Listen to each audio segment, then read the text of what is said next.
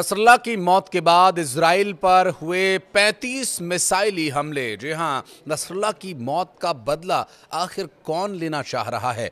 अब लेबनान के बाद इसराइल का निशाना किस पर है जो अभी लग नहीं पा रहा है? क्या है वर्तमान स्थिति? इस पर पूरी विस्तार पूर्वक देंगे जानकारी। नमस्कार, मैं हूँ आशीष त्रिपाठी आपके साथ और इस वीडियो में न्यूज़ 18 के सोशल मीडिया प्लेटफॉर्म पर हम बात करेंगे इसराइल के हमले में मारे गए नसरल्ला के बाद इसराइल में बज रहे सायरन की, आखिर क्यों 35 मिसाइलों ने पूरे इसराइल को थर्रा कर रख दिया? और कौन है इसके पीछे? बताएँगे आपको। लेकिन इस वक्त इसराइल के निशाने पर लेबनान के बाद अब यमन है। यमन में हुए हमले के बाद हूथी विद्रोहियों के अंदर हाहाकार मची हुई है, क्योंकि हूथी विद्रोही नसरल्ला की मौत का बदला लेने वाले थे। इस तरह की खबरें चल रही थी और इसराइल की सेना ने हमला किया और हवाई हमले हुए हैं या रॉकेट से हमला हुआ है, इस पर बताएँगे, पूरी जानकारी आपको देंगे। क्योंकि अभी जो जानकारी मिल रही है इसमें, बताया ये जा रहा है कि इसराइल ने यमन के होदेईदाही पे हमला किया। होदेईदाह एक बंदरगाह है जहाँ पर हथियारों का भी आदान प्रदान होता है और यमन इस बंदरगाह का इस्तेमाल अक्सर हथियारों को लाने और ले जाने के लिए किया करता था क्योंकि जानकारी ये मिल रही है कि इन हमलों में सैकड़ों की संख्या में हूती विद्रोहियों की मौत हुई है।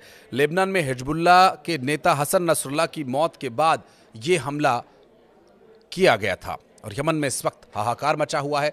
हूती विद्रोहियों को छिपने के लिए जगह नहीं मिल रही है, लेकिन इसराइल हूतियों के खिलाफ इतना आक्रामक आखिर क्यों है?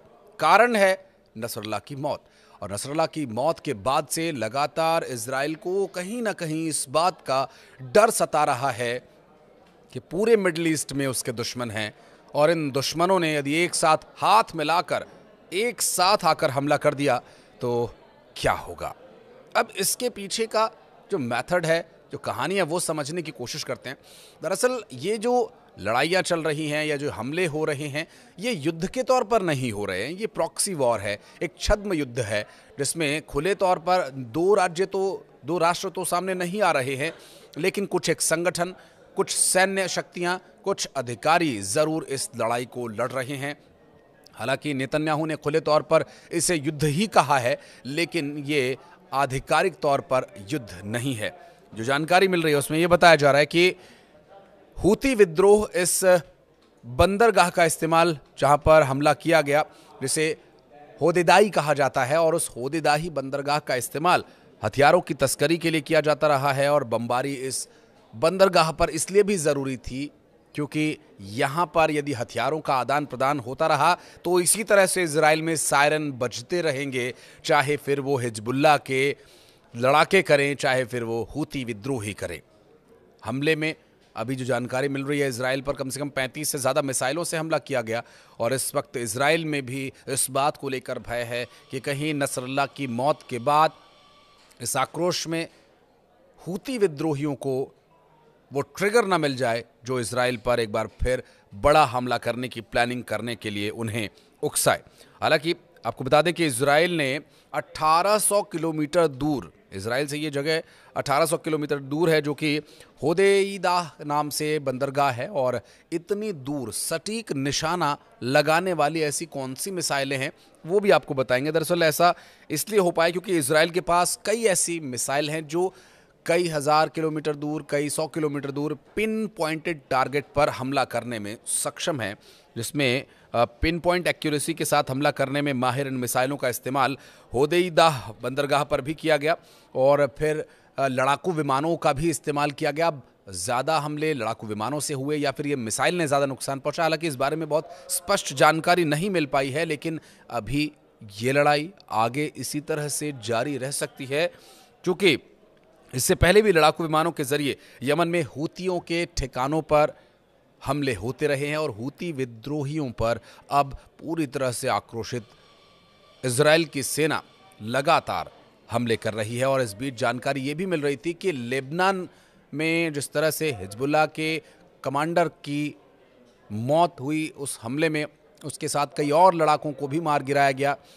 लेकिन इस बारे में लेबनान की सेना का भी ये कहना है कि ये देश का और पूरे देशवासियों के लिए ये एक बुरा दौर है और ख़ास करके सेना के लिए, और इस पर हम लगातार काम कर रहे हैं।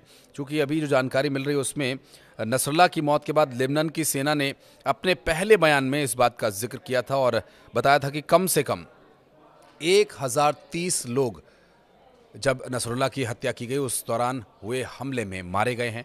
और अब देखना होगा कि हूतियों का आखिर क्या हाल इसराइल करता है, और इसराइल पर हो रहे हमलों का आखिर क्या जवाब इसराइल द्वारा दिया जाता है और इस हमले में किसकी जीत होती है, किसकी हार? लेकिन ये तो तय है कि पूरा मिडिल ईस्ट इस वक्त थदक रहा है और आग की लपटों में घिरा हुआ है और इसका सबसे ज़्यादा नुकसान यदि हो रहा है तो वो चाहे लेबनान, चाहे यमन, चाहे इसराइल के बच्चों का हो रहा है, नौनिहालों का हो रहा है। इस युद्ध, इस छद्म वार में आखिर किसका हो रहा है ज़्यादा नुकसान और इसका आगे क्या होगा परिणाम? इस बारे में एक और विस्तार पूर्वक वीडियो हम बनाएँगे, बात करेंगे आपसे। लेकिन इस बीच अगर आपके मन में कोई प्रश्न आता है इस वीडियो को लेकर और इसराइल पर हो रहे हमलों और उसके पलटवार को लेकर नसरल्ला के जो ज़िम्मेदारी है, अब उसके भाई जिस तरह से निभाएँगे, नए कमांडर होंगे हिजबुल्ला के, उनके द्वारा क्या आगे कदम उठाए जाते हैं, क्या रणनीति उन्हें बनानी चाहिए और इस पूरी अशांति को, इस आग के लपटों को शांत करने के लिए क्या किया जा सकता है, इस बारे में अगर आप कुछ कहना चाहें